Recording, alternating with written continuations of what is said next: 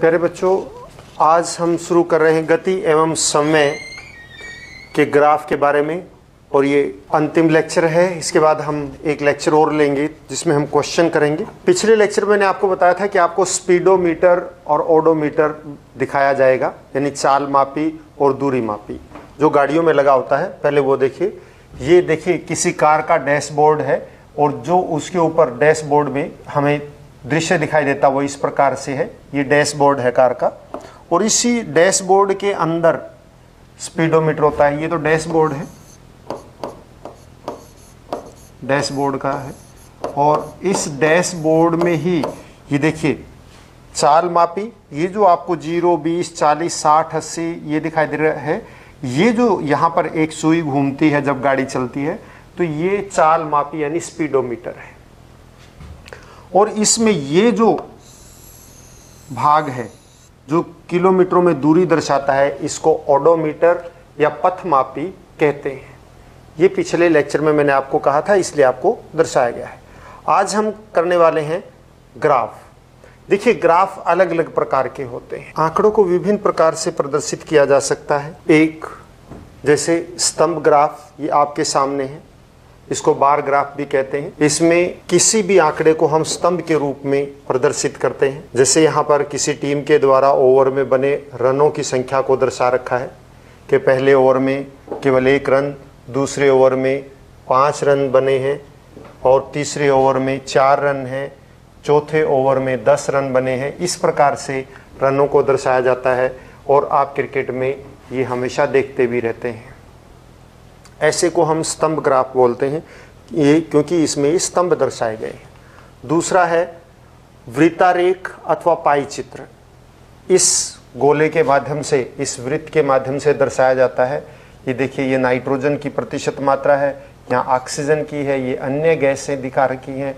तो इन सभी को उसी अनुपात में विभाजित किया जाता है, जिस अनुपात में वो उपस्थित हों और उसको हम इस तरह से वृत्त के रूप में या पाई चार्ट के रूप में दर्शाते हैं। और तीसरा जो मुख्यतः हम प्रयोग करते हैं रेखा ग्राफ जो आज हम दूरी और समय के बीच में रेखा ग्राफ और भी बनाएँगे। ये रेखा ग्राफ है। ये जैसे यहाँ पर भार और आयु के बीच में दर्शा रखा है कि किस आयु के बच्चों का भार कितना है किसी एक कक्षा में। तो ये इस प्रकार से जो रेखा के द्वारा दर्शाया जाता है, उसे हम रेखा ग्राफ कहते किसी भी रेखा ग्राफ को दर्शाने के लिए, उसको बनाने के लिए हमारे पास एक ग्राफ होता है और ये आपने ग्राफ कॉपी में देखा भी होगा। इसमें छोटे छोटे वर्गाकार वर्ग होते हैं और फिर प्रत्येक 10-10 वर्ग के बीच में एक और बड़ा वर्ग बनाया जाता है। और इस वर्ग के ऊपर हम, देखिए ये भी इसी प्रकार से है। तो इस वर्ग के ऊपर हम एक दो अक्ष लेते हैं, एक कहते हैं एक्स अक्ष और दूसरा वाई अक्ष जैसे हम इसको एक ऐसे एक लाइन के ऊपर इस प्रकार से, एक रेखा के ऊपर रेखा उसको डार्क कर देते हैं और दूसरा ये ये क्षैतिज और एक ऊर्ध्वाधर इस तरह से बना लेते हैं। इस क्षैतिज वाले को हम एक्स अक्ष कहते हैं। क्या कहते हैं? एक्स अक्ष। और जो ऊर्ध्वाधर होती है, इसको हम वाई अक्ष कहते हैं। इस तरह से एक्स अक्ष और वाई अक्ष, दो ये अक्ष बनाए जाते हैं और दो राशियाँ जिनको निरूपित करना होता है, एक हम एक्स अक्ष के साथ लेते हैं और दूसरा हम वाई अक्ष के साथ लेते हैं। मान लिया कि हमने दूरी समय ग्राफ बनाना है, दूरी और समय। तो हम दूरी मान लिया एक्स अक्ष वाई एक्स पे ले लेते हैं और मान, समय मान लिया हमने एक्स अक्ष पे ले लिया। इस प्रकार से एक राशि को हम एक्स अक्ष पे लेंगे और एक को वाई एक्स पर। मान लिया कि एक कार एक मिनट में एक किलोमीटर चलती है तो उसको हम किस प्रकार से निरूपित करेंगे? हम सारणी बना लेते हैं, मान लिया, दूरी, समय।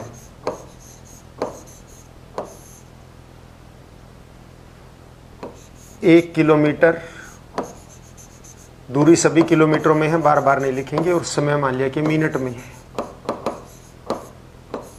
एक, दो किलोमीटर, दो मिनट में। तीन किलोमीटर, तीन मिनट में। चार किलोमीटर, चार मिनट में। पाँच किलोमीटर, पाँच मिनट में। इस प्रकार से एक नियत चाल है। अगर हम इसको यहाँ पर, जहाँ पर ये दोनों काटते हैं, इसको शून्य शून्य लिखते हैं और ये मान लिया, हम दो दो का एक बना लेते हैं, दो खाने का एक। हमारी मर्ज़ी होती है एक, ये दो, ये तीन, चार, पाँच, और यहाँ पर ये मिनट है। मिनट में लिया हमने इस समय, मिनट। मिनट इधर बढ़ते रहेंगे, और इसी तरह से दूरी ऊपर की तरफ़ बढ़ती रहेगी, दूरी। एक, दो, तीन, चार पाँच। अब आप देखिए किस प्रकार से ग्राफ बनाना है। एक के साथ एक किलोमीटर एक मिनट एक मिनट में एक किलोमीटर। जहाँ पर एक मिनट का और एक किलोमीटर आपस में मिलते हैं, वहाँ पर बिंदु लगा दीजिए। इसी प्रकार से दो मिनट और दो किलोमीटर जहाँ मिलते हैं, दो दो मिनट ये रहा और दो किलोमीटर ये रहा, यहाँ इस बिंदु पर मिलते हैं। ये हो गया। तीन मिनट, तीन किलोमीटर यहाँ मिलते हैं। चार मिनट, चार किलोमीटर यहाँ पर मिलते हैं। देखिए, इधर से चार से आने वाला, इधर से इस चार से आने वाला। पाँच मिनट और पाँच किलोमीटर, कहाँ मिलते हैं? दोनों। दोनों यहाँ मिलते हैं, इसको मिला दीजिए। तो इस प्रकार इसको हम ऐसे मिलाएँगे और ये हमें एक सीधी रेखा प्राप्त होगी और जब भी नियत चाल होती है, हमेशा सीधी रेखा प्राप्त होती है, यानी ग्राफ सीधा होता है। तो ये दूरी समय ग्राफ है। नियत चाल नियत चाल वो होती है ऐसी चाल जो निश्चित समय अंतराल में निश्चित दूरी तय करे। यानी कि समान समय अंतराल में समान दूरी तय करे। यहाँ समय का अंतराल भी एक एक मिनट का है, दूरी भी एक एक मिनट की है। तो इसका मतलब ये नियत चाल है। नियत चाल का इस प्रकार से हम वो कर सकते हैं, समय एक मिनट, दो मिनट, तीन मिनट, इस तरह से ले लिया इसके अलावा हम और भी तरह का ग्राफ वो कर सकते हैं। हम एक और लेते हैं, समय दे रखा है आपको। ग्राफ वाई अक्स सबसे पहले तो बस बात यही करना होता है कि हमें वाई अक्स लेना है और एक्स अक्स लेना है। मान लिया ये वाई एक्स था और ये हम एक्स अक्स ले लेते हैं।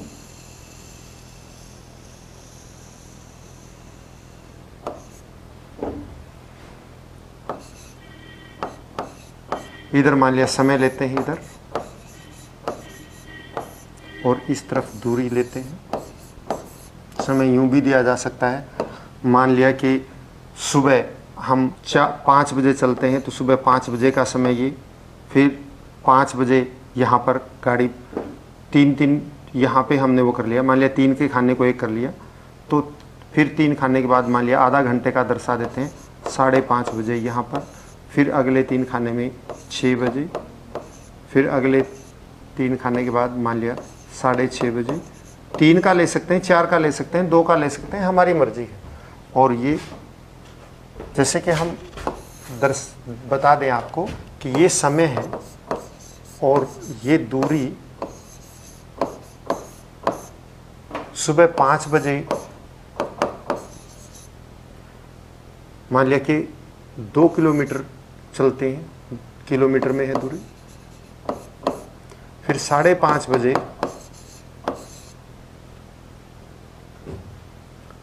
पाँच बजे दो किलोमीटर है, कोई बात नहीं। फिर साढ़े पाँच बजे, आधा घंटे के बाद हम देखते हैं कि दूरी मान लिया कि दस किलोमीटर चले गए तो ये बारह हो गई। फिर छः बजे, फिर दस किलोमीटर हो गई, यानी बाईस किलोमीटर चला जाएगा। फिर साढ़े छः बजे बत्तीस किलोमीटर दूर पहुँच गए। सात बजे बयालीस किलोमीटर दूर चले गए। यानी कि आप देखिए, हर आधा घंटे में दस दस किलोमीटर बढ़ रहा है। तो वही चीज़ यहाँ पर हमने दर्शानी है कि साढ़े पाँच, साढ़े छः मान लिया कि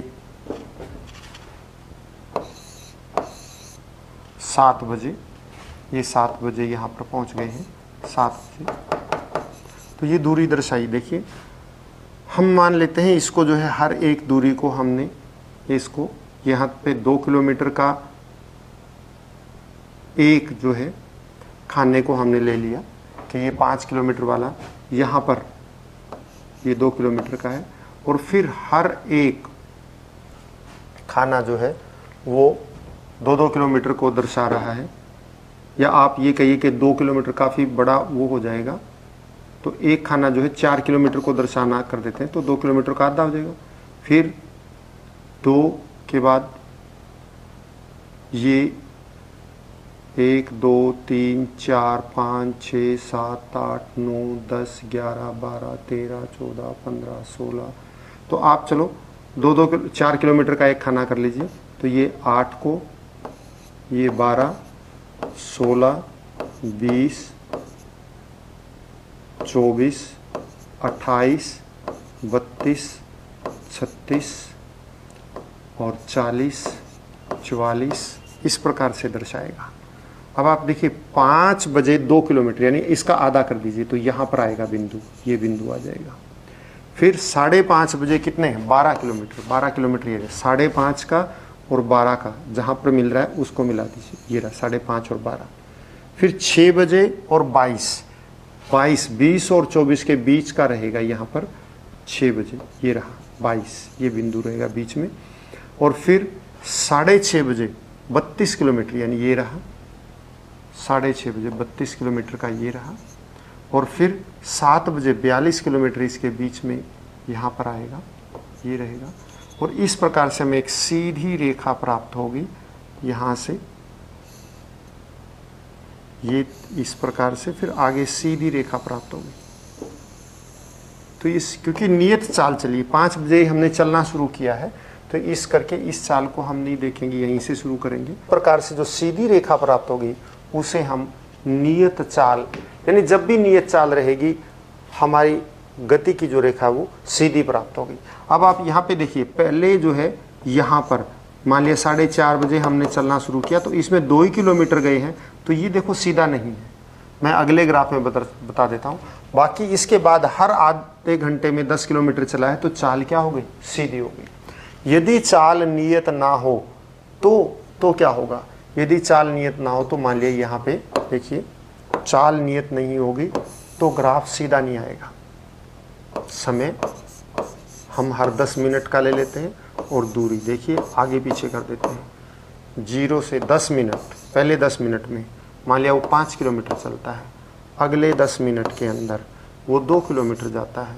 अगले 10 मिनट के अंदर वो तीन किलोमीटर जाता है। अगले 10 मिनट के अंदर वो मान लिया चार किलोमीटर जाता है। तो अलग अलग देखिए 10 मिनट का समय है। समय वही है 10 मिनट का। लेकिन दूरी कम ज़्यादा हो रही है। तो इसकी जो रेखा ग्राफ आएगा, वो सीधी रेखा नहीं आएगी, वो टेढ़ी मेढ़ी आएगी। देखिए, समय 10 मिनट। मान लिया कि हम एक, दो दो खाने को 10 मिनट ले लेते हैं, या चार खाने को 10 मिनट ले लो, ताकि बड़ा ग्राफ दिख जाए। एक, दो, तीन, चार खाने को 10 मिनट ले लिया। एक, दो, तीन, चार, अगले को फिर 10 मिनट। फिर अगले चार, यानी दस मिनट। कहने का मतलब ये कि ये दस मिनट, फिर ये बीस मिनट, ये तीस मिनट, क्योंकि समय दस मिनट, बीस मिनट, तीस मिनट, चालीस मिनट, इस तरह से है। और फिर अगले दस के बाद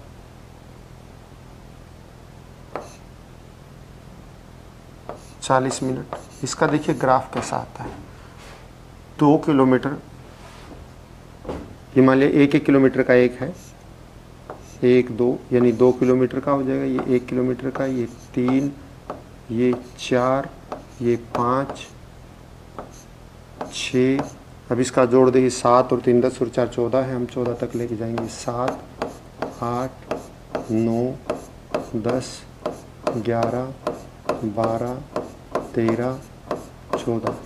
यानी ये पाँच किलोमीटर दूरी जो है, पहले दस मिनट पाँच किलोमीटर चलता है फिर वो टोटल अगले दस मिनट में दो किलोमीटर चलता है, यानी कुल दूरी कितनी हो जाएगी? सात, फिर अगले कुल दूरी दस और अगले में कुल दूरी चौदह।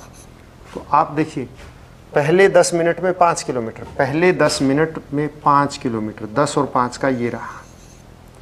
फिर अगले दस मिनट, यानी बीस मिनट पे कितनी दूर है वो? अगर हम दूरी किलोमीटरों में लें तो ये पाँच किलोमीटर, फिर सात किलोमीटर, दस किलोमीटर पे, चौदह किलोमीटर पे। तो फिर बीस, सात किलोमीटर पे, यानी ये रहा, सात किलोमीटर का। फिर 30 मिनट के बाद वो 10 किलोमीटर पे चलता है, ये 10 किलोमीटर का। और 40 मिनट के बाद वो 14 किलोमीटर पे मिलता है हमें। तो देखिए, पहले यूँ जा रही है, फिर यूँ हो गया, फिर यूँ हो गया, फिर यूँ हो गया। ग्राफ लाइन जो है सीधी नहीं है। मतलब दूरी देखिए, इसमें तो पाँच का अंतर आ रहा है, यहाँ दो का अंतर आ रहा है, तीन का अंतर आ रहा है, चार का अंतर यानी पहले दस मिनट में वो पाँच किलोमीटर दूरी तय करता है अगले बीस मिनट में कुल दूरी सात ही होती है। यानी अगले दस मिनट में केवल दो किलोमीटर चलता है। फिर अगले तीस मिनट के बाद वो दस किलोमीटर ही पहुँचता है, यानी कि केवल तीन किलोमीटर चला अगले दस में। फिर चालीस मिनट के बाद वो चौदह किलोमीटर की कुल दूरी तय करता है, यानी अगले दस मिनट में केवल चार किलोमीटर चला तो इस प्रकार से दूरी कम ज़्यादा हो रही है। पाँच, दो, तीन, चार तो ग्राफ लाइन सीधी नहीं आएगी, टेढ़ी मेढ़ी आएगी। इस प्रकार से अनेक प्रकार के ग्राफ होते हैं। यदि नियत चाल रहेगी तो ग्राफ की जो रेखा है, वो सीधी आएगी, और यदि नियत चाल नहीं होगी तो ग्राफ की रेखा जो है, वो सीधी नहीं होगी। इसके बाद हम आगे चलते हैं। ये देखिए, उदाहरण का पहला और दूसरा प्रश्न है। आज हम ये भी करेंगे। निम्नलिखित गतियों का वर्गीकरण सरल रेखा के अनुदिश वर्तुल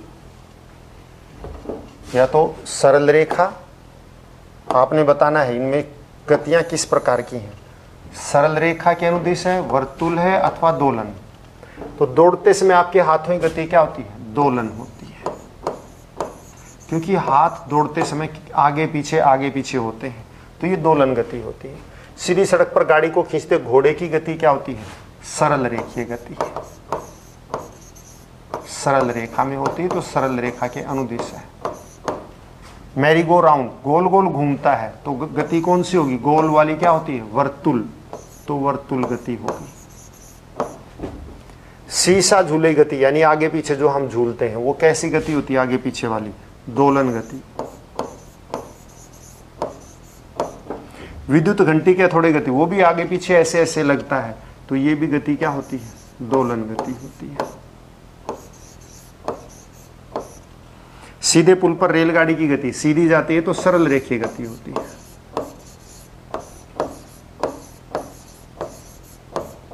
यह अभ्यास का पहला प्रश्न था। निम्नलिखित में से कौन सा कथन सही नहीं है? समय का मूल मात्रक सेकंड होता है यह सही है। मूल मात्रक सेकंड ही होता है। प्रत्येक वस्तु की नियत चाल से गति करती। प्रत्येक वस्तु नियत चाल से गति नहीं करती। अधिकतर वस्तुएँ या गाड़ियाँ तो नियत चाल से गति करती ही नहीं है, इसलिए ये गलत है। दो शहरों के बीच की दूरियाँ किलोमीटर में मापी जाती हैं। बिल्कुल सही है, क्योंकि दूर होते हैं तो बड़ी इकाई लेते हैं किलोमीटर। किसी दिए गए लोलक का आवर्तकाल नियत नहीं होता। दिए गए लोलक का लोलक का दोलनकाल हमेशा नियत होता है, आवर्तकाल हमेशा नियत होता है। रेलगाड़ी की चाल मीटर प्रति घंटे में व्यक्त की जाती, नहीं, किलोमीटर प्रति घंटे में व्यक्त की जाती। किसमें की जाती है? किलोमीटर प्रति घंटा, ना के मीटर प्रति घंटा। तो इसमें जो है, ये ख, गे, कै, एक तो कै और एक घ और च, ये गलत है और हमारा जो है, कै और गे जो है वो सही है। तो आज के लिए बच्चों इतना ही। काफ़ी घर पर रहें, स्वस्थ रहें और अपना काम हर रोज़ करते रहें। धन्यवाद।